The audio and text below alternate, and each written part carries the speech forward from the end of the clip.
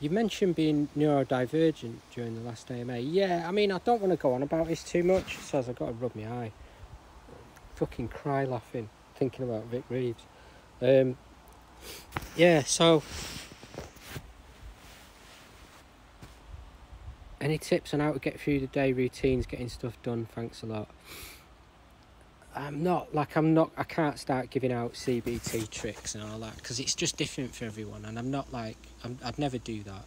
I think you just got to like work with somebody who understands you. Really, I think that's the key thing.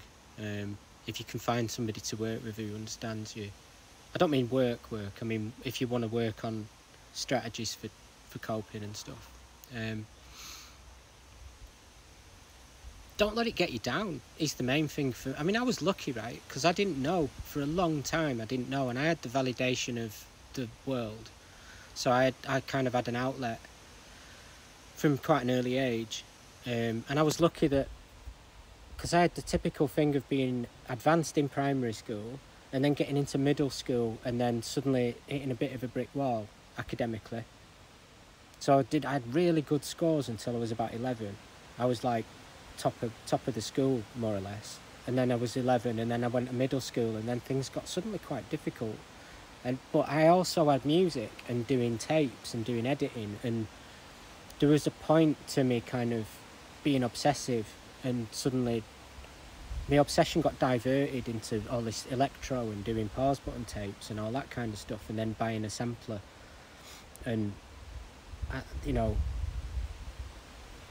I was getting approval from my mates in school because electro when I was so this is like 83 84 when electro was big and I started first doing tapes you know suddenly people were talking about me as a DJ in school. They were saying oh he's a fucking DJ and that was really good for my ego. And didn't you know it didn't matter that I was different to them suddenly. It didn't matter that I was outside the group because I was like getting respect for what I'd produced when I was outside the group if you know what I mean. So it really helped me to have that. Um, and it's probably why I clung onto it so tightly for so long and was so obsessed with making it work, you know. Um, so yeah, and I didn't know until much later that, you know, Asperger's and HFA, whatever, they're not like it's not necessarily like a diagnosis that you have to worry about. It's only if it's affected your life in a negative way. So I didn't really need to know because there wasn't really anything I needed to tweak. And by the time I found out about it, I'd learned enough just through trial and error and experience, learned enough strategies for dealing with people and social dynamics. And I'm quite good at picking emotions up in people. It's not like I'm insensitive to that stuff. It's just that I don't quite I quite often don't know how to behave in response because that those things aren't hard coded in me. So I don't know. Some some I find some types of social interaction easier than others. find it much easier to deal with somebody in on in like a one on one than dealing with a large group of people. But if I know the group of people really well, I'm quite good.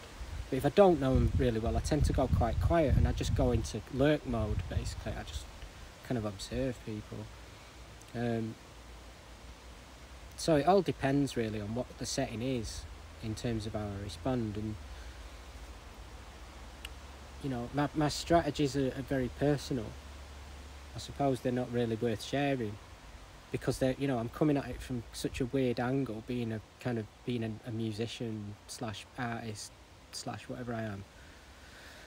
You know that I think that my advice probably isn't that useful to somebody who isn't doing that you know? Um, but I don't know. Maybe it would be. Be. I'd need to really discuss individual situations and ways that I would deal with him if I was in him. You know, for it for it to be any use. I can't just kind of give out general advice like that. But I do really appreciate that people like I. I appreciate that people appreciate me talking about it, but I don't really know how to talk about it. And there's been a lot of situations where I've been in interviews and I've brought it up and they've quickly changed the subject. They don't want me to discuss this in interviews.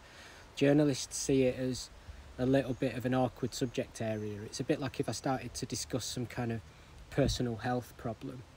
You know, they don't like talking about this stuff. A lot of people are kind of repulsed by anything that they perceive as a disability which is a shame, really, because I don't perceive it as a disability at all, you know, or or a kind of superpower. You know, I'm not on that tip either with it. You know, I don't. I just think it's all about difference and people being different. I don't like a lot of this kind of new identity politics in that you're supposed to join some group and identify with that group and wave the flag for that group. That's just another type of group behaviour to me, and I can't really identify with that either. So, um, you know, I find certain cultural phenomena are a little bit difficult to engage with personally, and that that's become a little bit more of an awkward thing as I've got older, because people are so fucking fixated on these prefabricated identities. You know, I don't like that.